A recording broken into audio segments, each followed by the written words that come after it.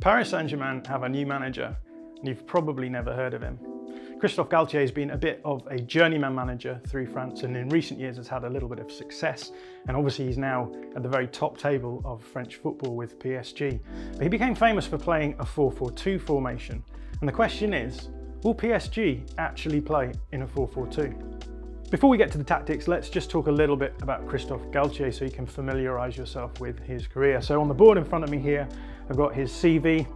The footballer in the 80s and 90s, plays in France, Italy, and interestingly is one of the first players to actually end their career in China. So there's a little bit of an interesting tidbit for you there.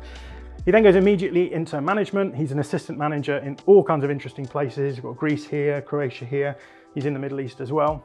And then when we get to this section of his CV, he suddenly takes up a job as the assistant manager um, working for a guy called Alain Perrin. Again, works his way through, starts off in Portsmouth, but ends up moving into France and ends up at Saint-Etienne.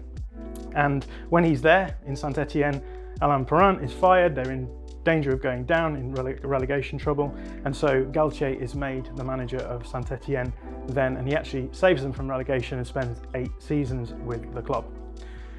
2017 is an interesting period in French football because in 2017 Marcelo Bielsa is made the manager of Lille and then is very quickly made not the manager of Lille. And the sporting director at Lille at the time is a guy called Luis Campos which is a name we need to remember but he brings in Christophe Galtier to save Lille from relegation. And he manages that. They have a 17th place finish.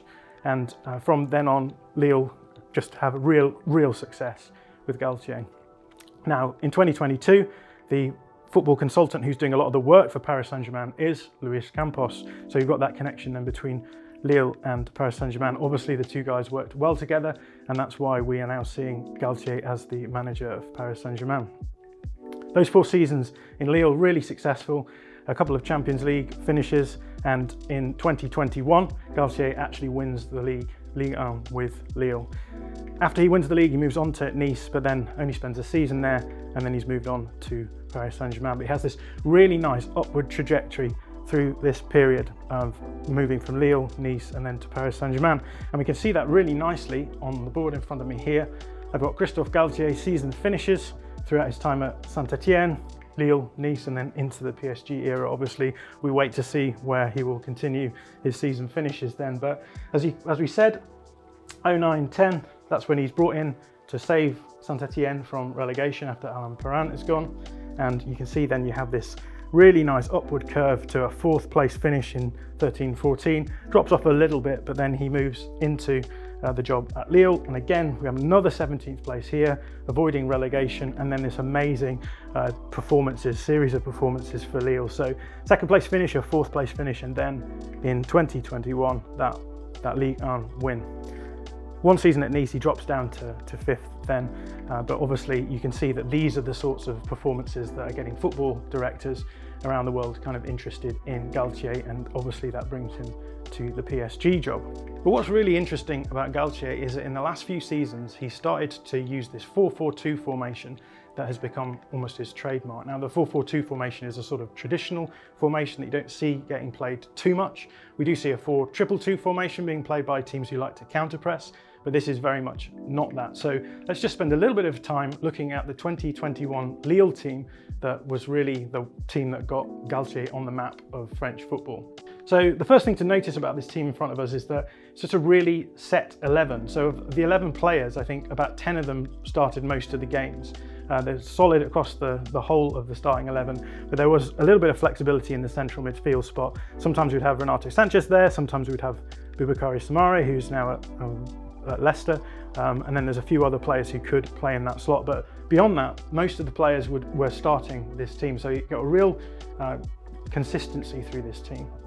And if we look at the team in particular, the place to start off looking is these two centre backs. So we've got Sven Botman, who has been in the news quite a bit recently with transfer rumours, uh, and then Jose Fonte, who a lot of people will remember from his time in the Premier League. Now, Jose Fonte is quite old, he's in his late 30s, and Sven Botman is quite a slow player. So when Galtier came to structure this team, he realised that he couldn't really push his back line forward because these two centre backs wouldn't be able to play a high line.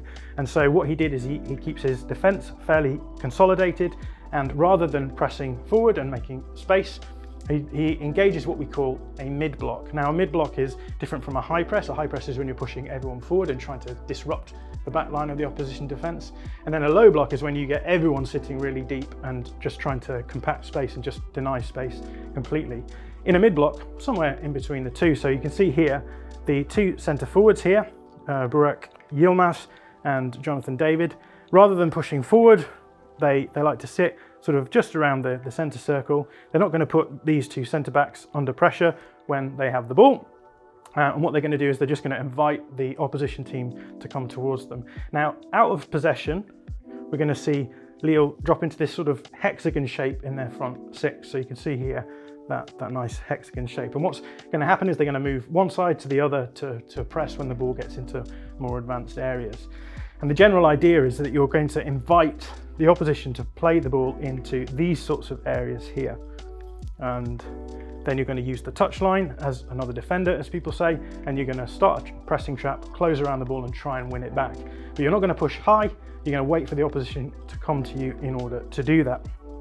So let's say that this ball is played in here and we see this fullback here just pushing long, might play the ball in to the uh, wide player here, and then we'll see this hexagon shape just pull across, close down space, close down passing lanes, and the general idea then is this midfielder may win the ball back, and you can then start a counter attack. Now, there's lots of space for you to attack, and so uh, Benjamin Andre would probably pass the ball to Renato Sanches because Renato Sanches is a good ball carrier, and then you would see Renato Sanches dribble with the ball, carry the ball forward into this sort of area, and at this point, all of the other Lille players are going to be trying to get into advanced areas. Now, once Sanches has got into this sort of area, we're going to see him look for these passes into wide areas to the two Jonathans, Ikone and Bamba, and they in turn are going to try and find these passes into the middle so the centre forwards can attack the ball and hopefully score a goal.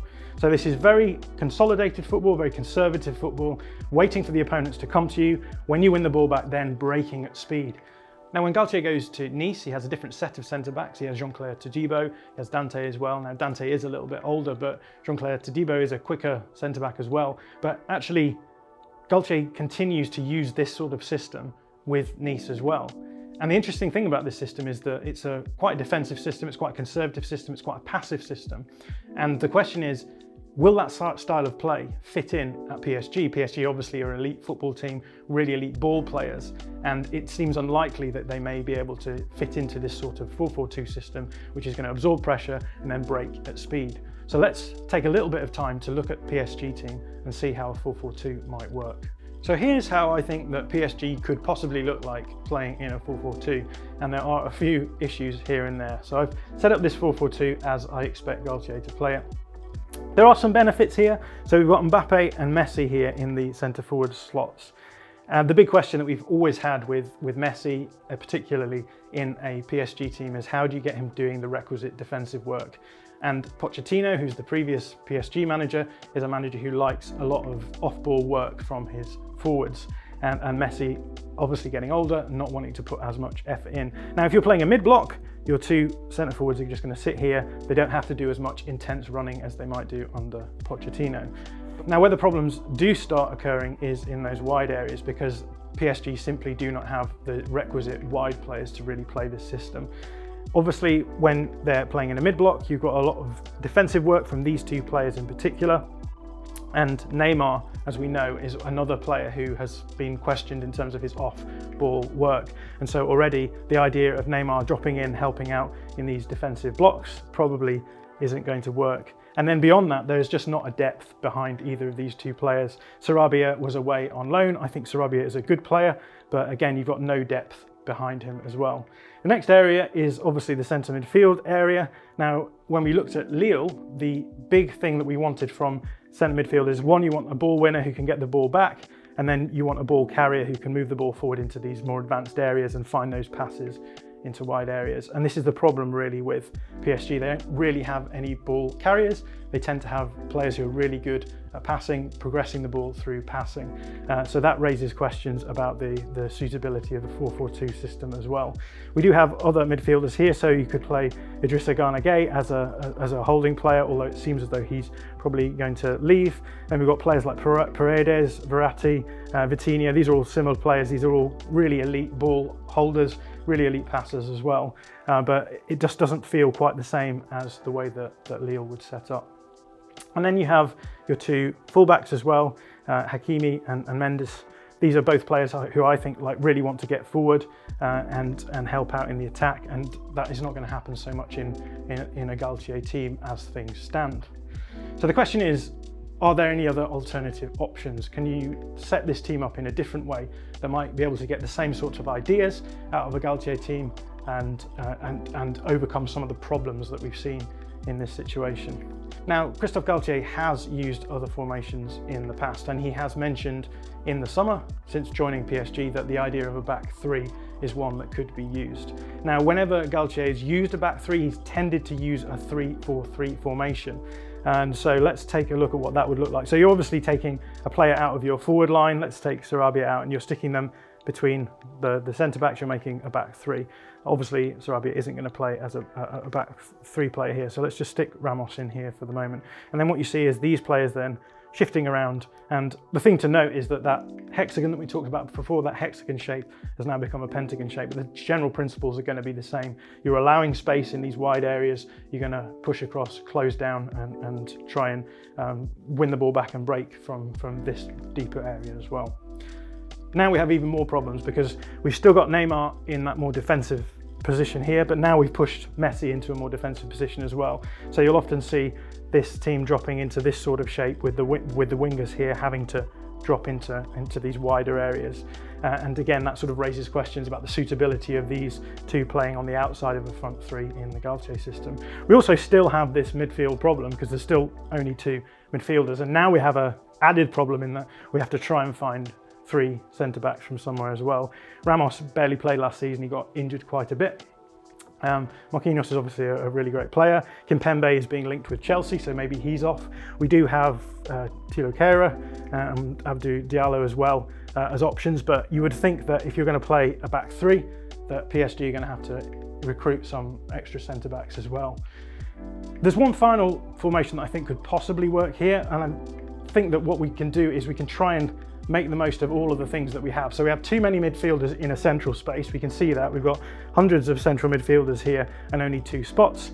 We've got wide players who can't really play defensively, so we want to try and use a front two. And then we've got these fullbacks here, uh, these who can be played as wingbacks really successfully. So if we can get those into a fullback system, it would work. And so my quick suggestion is that maybe a 3-5-2 might work for Galtier, because if we do that, we can play Mbappe and Messi in those, in those more uh, relaxed front two roles in terms of the defensive side of things.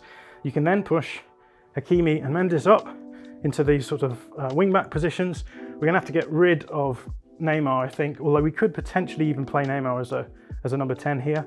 Um, again, that sort of allows you three midfielders. So suddenly we can we can start bringing some of these many many midfielders into this sort of area, uh, and then play your your back three here. So I think that the three-five-two in this situation actually might be the best way for Christophe Galtier to go. So Christophe Galtier moving to PSG is going to raise some really interesting questions about what to expect. It's going to be a very different style of football to what we've seen at PSG. And also structurally, there's all kinds of problems that we've talked about in this video. So keep an eye on Ligue 1 next season because I think it might be a really fascinating league to see how Christophe Galtier brings his style of football to PSG, whether we see any changes or whether or not we see things going wrong because of these structural ideas. If you'd like to see sensible transfers for your team, then you are in luck because we've written sensible transfers articles for every team in the Premier League and publish them on The Athletic. To read them, you can get a 30 day free trial for The Athletic by clicking the link in the description. Thanks for watching today's video.